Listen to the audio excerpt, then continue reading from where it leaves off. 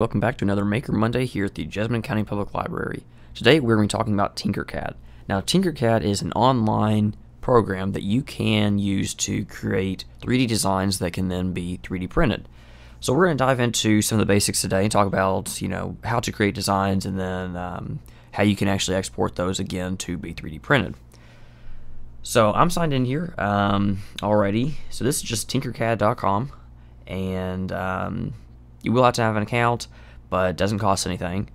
So again, the great thing about this is all you need is a uh, web browser. You can sign in um, online, and then once you come to the library, you can sign in on your account again, and then download that file straight from your um, from your account.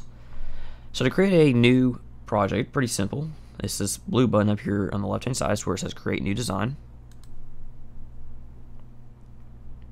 And the default is going to look like this. Now the first thing that I normally like to do is come down here to the bottom right hand corner and edit the grid. So by default it's in millimeters.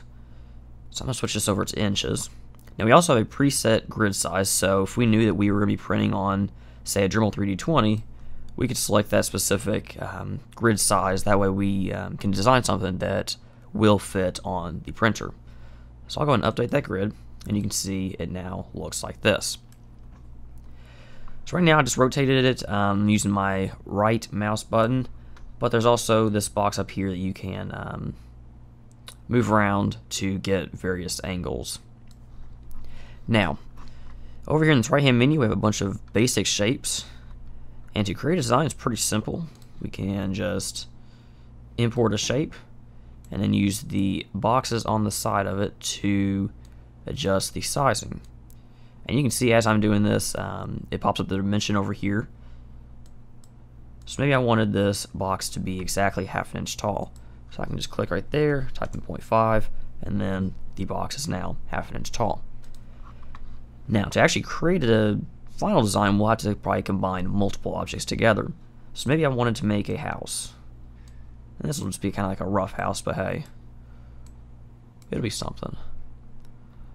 So I'm going to go ahead and change the work plane, and that's this tool up top here, and that's going to allow me to then work on top of the box. So I'm going to grab a roof right here, and maybe I want a little bit of an overhang on it. And then it's just a matter of dragging it out.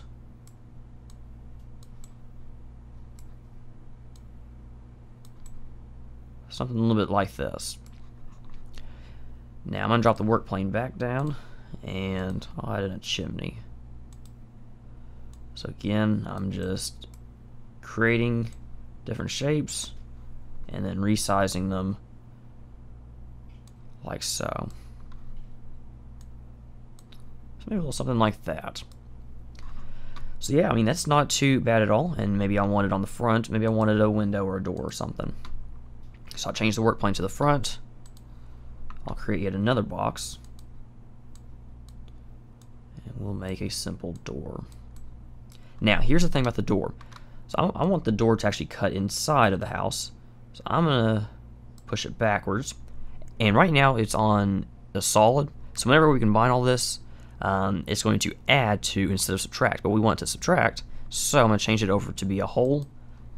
That way when we combine everything, it will again subtract. And you'll see that here in a minute.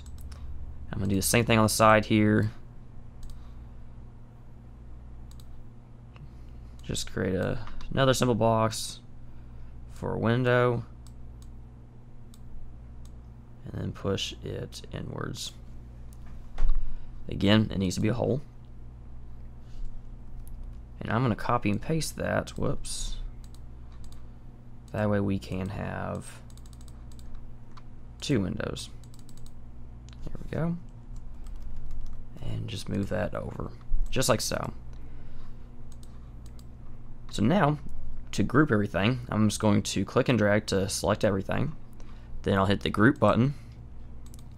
And there is the house. You can see it is cut in for the door and windows. And of course we have a solid um, house, roof, chimney, all of that stuff. So, it'd be the exact same process um, for anything else you wanted to make. Again, you would just find the shapes that you want, uh, drag them around, resize them as you like, And there's even more shapes as well. Right now we're just in the basic shape tab. You can hit this drop down menu and select, you know, all sorts of different um, menus. So like even here's a dinosaur kit that you could um, put together. But to export it, it's just this export button up here in the top right. Then you can select the uh, file type, and you can see it just downloaded here for me in the bottom left hand corner. And that's all there is to it. Click the like button, subscribe to our channel below, and don't forget to ring that bell in order to get reminders when we have new videos for you to watch.